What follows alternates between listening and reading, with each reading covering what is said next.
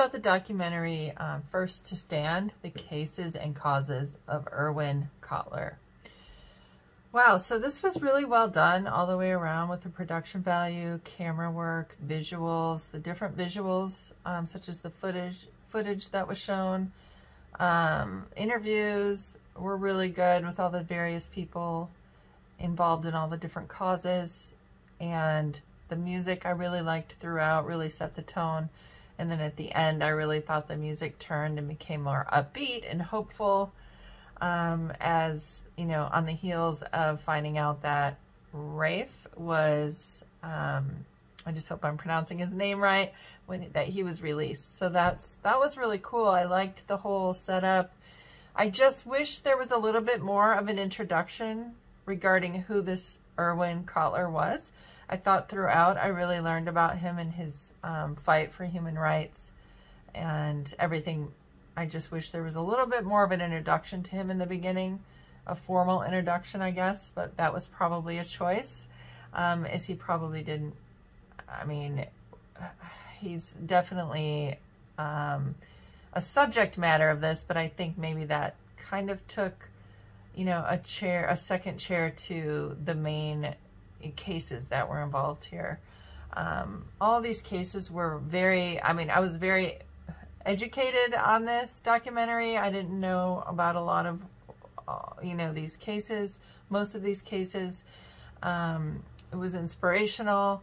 I just think this will spark, you know, people to act even in small ways in their communities.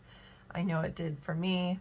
Um, because these people who were involved in these rights, um, the women and the hijabs, and putting their lives online you know, as far as it's a real, real thing that these women can get arrested and these men can get arrested for thing just for standing up for their own human rights. It's it's appalling, and for them to have it in their heart to do that is quite amazing and inspiring, actually.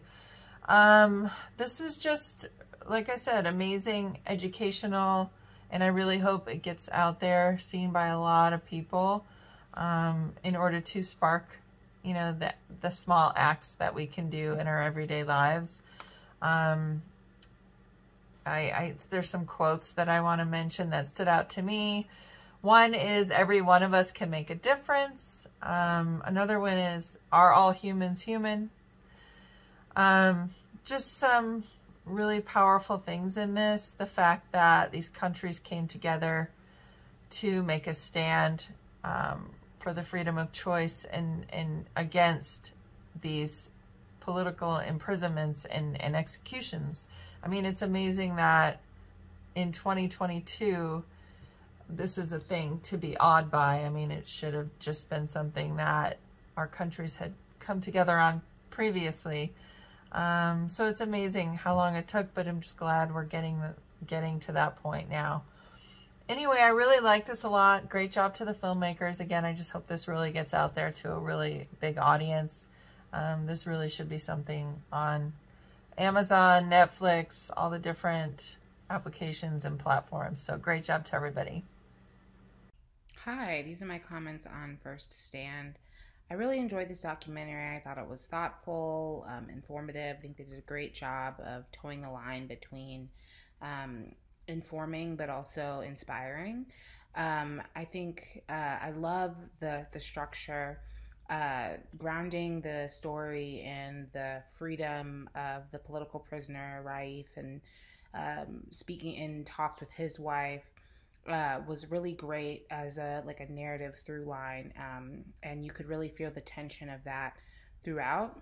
And then I think the storytellers did a really great job of weaving that with stories of political prisoners, old and new, some familiar, some not. Um, I think that they also did a great job of grounding it in the present, like Putin and uh, the ways in which uh, Russia has infringed upon the freedom of its citizens and also just like citizens around the globe uh, is very like relevant at this moment. And so um, regardless of when it was made, it's um, really sobering to watch this documentary um, with the knowledge that we have now about the Ukraine. And I think that they did a really great job of bringing in um, that story um, and juxtaposing it with all these different stories of political prisoners and what it is um, to really participate in democracy um, in a really thoughtful and meaningful way. And I think that mixing the old and the new and the well known and the not well known does really great job of like uh, bolstering and furthering the themes of activism uh, and uh, not just informing you about the actual foundation itself, but um, what the foundation, uh, what its foundations are. Um, and so I think they, the documentary has picked a really great subject and they did an excellent job of executing uh, the mission of this foundation uh, and humanitarian rights in a way that isn't uh, preachy but does make you uh, that it's like thought provoking uh, and picked really great people to interview that are passionate. And the one about uh, the woman who was uh, protesting the hijab and and then was eventually like um, attacked by Iranian agents uh, was it was really powerful and and and, and very like interesting to watch uh, and it makes you want to dive deeper into the topic, which I think obviously is was was a big part of what the the documentary set out to do. So, uh, well done all around. It's so good to see that there are still some people standing up for human rights. There are times you look at the news and things going on, and you wonder who's fighting for these people, or if there's even a purpose fighting for them in our free countries. Because will their governments listen? This documentary taught me that through the protesters in our country, through those working for human rights, we can get our governments to pass laws to sanction these countries if they violate it, which is essentially forcing uh, other countries to do what we say in the name of human rights. There's definitely still a lot of work to do, and it's great that there's these good men that are doing it. And I appreciate learning their stories and that they always will fight the good fight that some people just don't have it in their heart to do. That these men are willing to risk their own potential imprisonment and their own lives to stand up for what's right.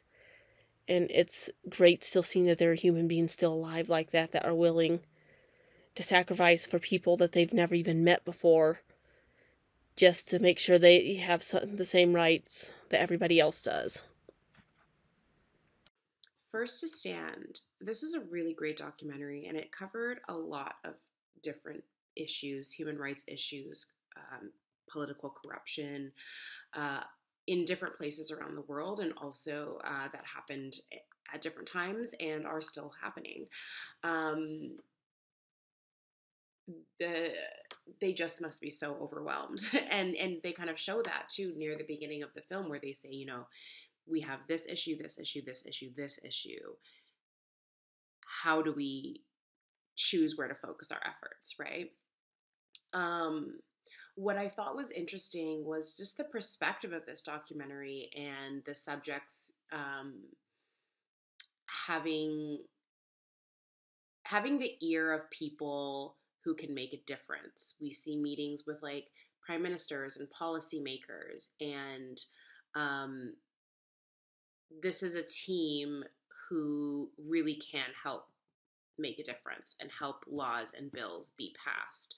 Um, and so it's kind of nice to get that like inside look of the work, you know, one aspect of the work that is being done and seeing how the different countries um, have gathered together um, in the name of human rights and you know it was it was a heavy film. It was a heavy film but it did have it did have wins throughout. It did have um moments of of positivity. And i do really like that it ended with um Raif right?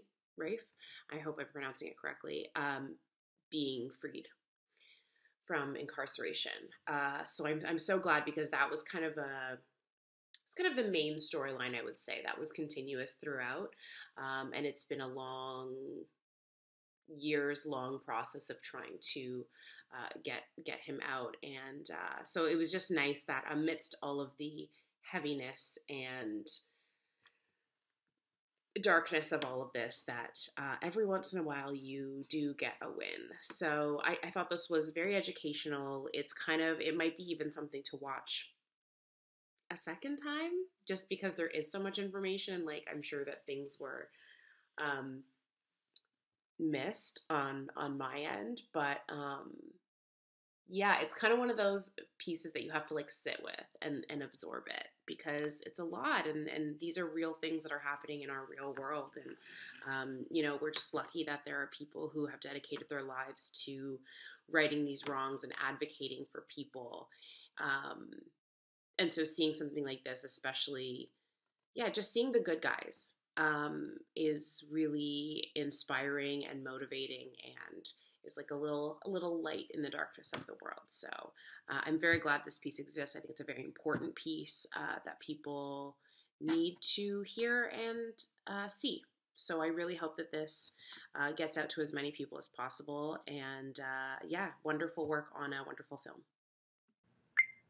This review is for First to Stand, and they focus on Irwin Cotler, which is a human rights advocate and activist. Um, they show a lot of intense footage for rioting, people being abused and oppressed, mostly by the police. And this footage, unfortunately, comes from all over the world and from different decades, uh, some of them very recently, also, unfortunately. Um, they touch on justice and injustice, those two concepts that somehow some places in the world don't quite get, and how indifference plays out in this equation. They also focus on the Raoul Wallenberg Center and how a lot of activists and create um, petitions to advocate for government officials to stand up to, for example, Putin and other dictators. And I like to watch how they talk about the exemplary role Canada has played on the global reaction to genocide and human rights violation, putting this example that above all, we should always side with the victims and the oppressed and never for any reason justify any genocides anywhere. Um, it was interesting as well to learn about the Magnitsky precedent, which, from my opinion, in my opinion, is quite important as a diplomatic way to fight corruption and oh, um, totalitarian oppressors. Um, I don't know. Um, they they talked about Rwanda, Iran, Navalny in Russia. It's just so much to take on, and it's so much going on. This film make makes a, a great job at um, encompassing what's being done and what impacts are they having and it was just nice to see some of the nicer stories that were also showcased and people that are constantly putting their lives at risk to make things better for everyone else. Um, I love the impactful closing remarks about siding up with the oppressor through indifference, and this just should be taught in every single primary school. Um, indifference um, sometimes is just worse than being the aggressor. Uh, I think that's what they meant with that, but um, it was just very informative, quite emotional, and so sad to watch. Just tragic that this keeps happening everywhere. Again, the hope that these people in infuse through their actions is quite inspirational, and I had a great time watching this. This film is called First to Stand. This was a fantastic doc feature. We are privileged to hear about courageous people fighting oppression. It was great to learn in moving interviews about the work of Canadian Irwin Cotler. What a dynamic, brave man who has spent so many years fighting for the rights and freedoms of political prisoners. Lots of historical footage of major civil rights leaders like Nelson Mandela. The film suggests that countries have had success to fight against injustice by international pressure. I was also inspired by seeing all the marches and protests for various causes over the years. I feel that this doc feature has an optimistic viewpoint. Justice will be served by all the hard work and responsibility of us all. Well done, film. This is a massive attack on human rights. Everyone has the capability to make a difference.